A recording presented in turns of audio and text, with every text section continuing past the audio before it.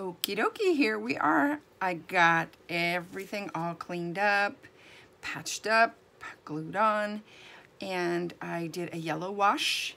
I did some veining and I did a little bit of a blue wash um, on limbs too. Let me grab them for you. And um, now I'm going to bake that baby up and get to the next step. Hello everyone. I'm checking in again with another layer of color. It doesn't look much different. It's going on pretty subtle. And I think because I pounced on a bunch of really pale layers to try to blend in when I was um, trying to do the ears. And so it's gonna take a little time to build up. I noticed that with baking this several times that the nose was becoming a little bit fragile. And um, yeah, that's, that's a little sad.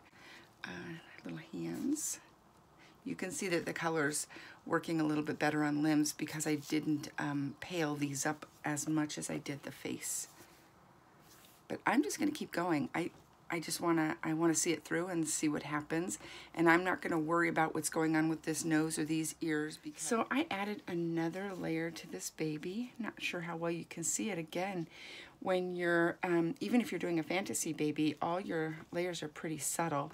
What I added were was some salmon, this color, kind of hot color, um, to cheeks and highlight areas up here, uh, chin, lips, cheeks. And I used a little bit of this lavender.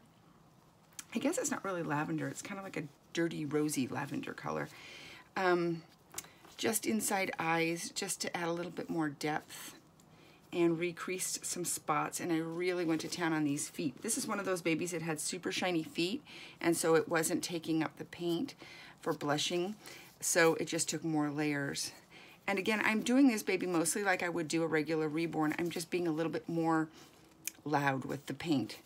Um, I'm not being shy about color. I put some salmon on those knees. And hands, same thing. I went a little a little color happy on those hands and I kind of like them.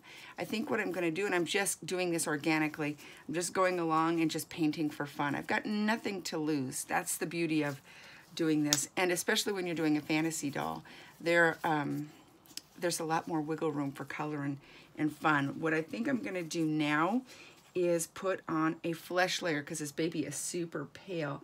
And the color I'm going to use is this, and let me show it to you. It's kind of a, it looks like chocolate milk. It's a little bit um, more gray than creamy, and I'm looking for a sponge, sorry. And that's because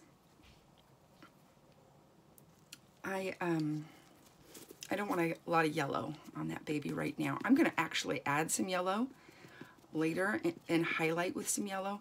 But for right now, what I want to do is tone down all the modeling that I did. Try to take down some of that super pale wash that I put on there in the beginning. I'm going to just kind of talk again about that. When I was trying to put the pale on the ears, I was trying to feather it out and get it to match the face and slowly make all the colors be a little bit more um, alike.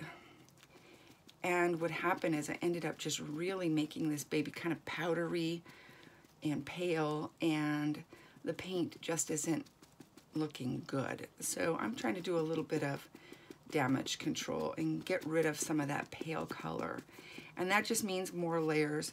You know, don't freak out. Here's the deal everybody's going to have a baby that they're going to toss in the garbage. I know the thought of that is creepy because it looks like a baby. Secondly, because I know how much money is spent on that sculpt and the idea of just tossing it away makes you want to cry. Um, there are some dolls that you're going to paint and paint and paint and strip and paint and finally just say, you know what, I've had enough. And um, it's actually kind of a, a good feeling once you just say, okay, I'm going to go and do something else. But if you're just in the beginning stages where you're just about to give up and you really haven't tried all the things that you need to try, remember that you can add another layer. And that's what I'm doing. I'm just adding some more. Hey, at the end of the day, this might this might just be an absolute disaster. You know, these ears might fall off, this paint might not look good, the acrylic might not stick, there's a million things that can go wrong and mess up all of this effort. But the cool thing is, well, for me, the cool thing about making art, it's not so much what you get when you're all done, even though that is super exciting, especially when it works. The cool thing is just like, and I don't mean to sound cheesy, you know, it's not the destination, it's the journey. Yeah, actually, it sort of is. Because you're playing and you're learning so much. It's, it's fun. I mean, it's supposed to be fun and it's exciting. And um, even if this doll goes in the trash, I've learned 20 things that are going to help me make the next baby. So it's kind of like doll school. And I think that's kind of looking better already. But we're just going to paint, paint, paint. I think I'm going to um, put two layers of flesh of this color on the baby. Hopefully he doesn't get too chalky looking. That's my hope. And then I'm going to go through and just play with some bright colors and um, and just goof off. He's he's an elf fairy baby. He's a fantasy baby um, you have a lot of a lot of opportunity to play. But I do want that um, underlying realism to stay. I pinked up his head and um, pinked up his cheeks with some salmon and some lavender mixed together. And I added lots of yellow, um, I don't know why, I just thought it would look good. It's all wet and it's still flashing off. And then for arms, I am do doing the same thing. I just made like a yellow wash and I just washed the tops of the hands and just, you know, a little bit around. And I'm just pushing that in there. Again, remember, this is a fantasy baby, so even though we're keeping some of the realism, we're also adding some color that you probably normally wouldn't find in um, a normal reborn baby. So here we go. I'm just going to pat this out. I'm doing another flesh layer over that and I realize that I haven't flashed off that other color and that's because I'm just blending all those colors together. I probably wouldn't use that move on a baby that I was working on that was an actual realborn um, because I wouldn't want to risk muddying up the paint. But with this baby, I'm just playing and having fun and seeing what happens. So there we go. I'll give you a close-up of that hand so you can see that um, there's lots of yellow, there's lots of pink, there's lots of salmon. Feeling like I'm gonna do one more flesh bake and then I'm gonna start the acrylic. Here we are. I'm starting to put on some acrylic on the epoxy. All I'm using is Liquitex acrylic and hopefully that'll be okay. Um, I have no idea. It seemed to work when I did the avatar. Um, that with a little bit of matte varnish seemed to be okay. The matte varnish I'm going to use this time is, where is it? There it is. I'm just going to use Liquitex um, just because I have it. And if it's too shiny, I always can go out and spray Mr. Super Clear, which is probably what I should have done before I started painting. I'm going to let this ears and nose dry. And if it looks like it's getting weird and flaky, I may, I don't know, I may take it off and then go back and Mr. Super Clear it. I did, wasn't even thinking that I should have put that on first and used it as kind of like a primer. Um, just putting it straight on there. I can't imagine that it wouldn't stick.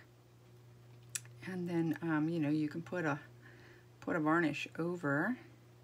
The only thing I'm not happy with is that the paint is going on pretty thick. And um, I just don't want to see that texture. Yeah, that's working. It just kind of mats it up and takes off those um, those brush strokes a little bit. So, you know, just to be on the safe side, I think I will, after this dry, go out and just put a little bit of um, varnish on it so it doesn't come off. Again, I may have gotten a little too pale. We'll see. I'll just have to play by ear. Put another coat on there. That gray is strong and coming through. And then I'll just sponge it. The face, I, I really want to be careful not to have brush strokes on. Oop, look what happened. I hit it with my nail and that's what's happening. So yep, I think I'm gonna take this off and go Mr. Super Clear it. Who thought that making a little tiny elf was gonna be so hard? That's okay, it'll be worth it in the end. We have been through a lot with this little baby. I mean a lot. And uh, it's, it's starting to get annoying, but I think it'll turn out okay. I went ahead and sprayed this baby with primer, not primer, um, varnish, with a matte varnish, just where the ears and the nose were, so that when I added the acrylic paint to the epoxy, it would stick. This isn't going to be a perfect match, but um, really all I'm trying to do is to tone down the, um, the gray so that I can, I think I'm actually gonna pink these ears. I think I'm gonna pink the ears and the nose. So really what I'm doing is just toning down and I think I over thinned this paint.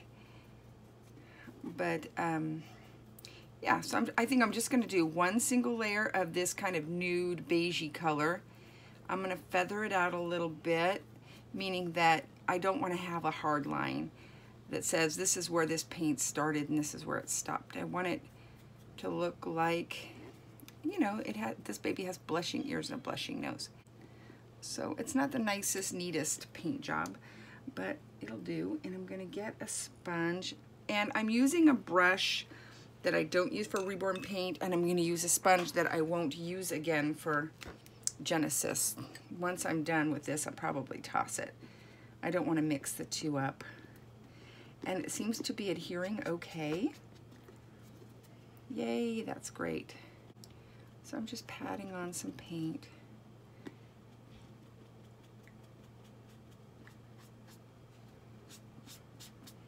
and I will probably just leave it like that. It's not, you know, full coverage, it's not super tidy, but it, um, it's taking a little bit of that gray down, which was what my intention was. And then as soon as this is all dried, I'll tidy it up a little bit with a Q-tip. And then, where are my Q-tips? There they are. I moved everything around on my table. Can't find anything. Um, I'll tidy it all up and then I will start um, blushing it with a little bit of pink and see if I can't get those ears nice okay. and pink. So I mixed up a little bit of pink using that flesh tone and some, what is the name of this color? Ladybug Red.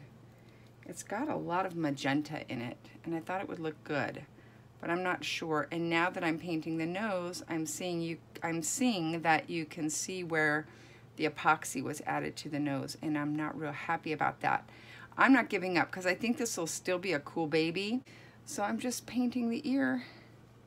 I'm not painting the whole ear. I'm just painting over the, um, the nude color and pinking it up. It's gonna take a couple of, of layers and it is not subtle nor is it smooth and eh, I don't know.